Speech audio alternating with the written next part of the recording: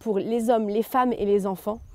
On les transmet à la grande famille à La Roche-sur-Yon et à l'aide sociale à l'enfance. C'était important pour nous de faire un petit clin d'œil à ces petites associations, de les aider euh, en contribuant avec ces cadeaux-là.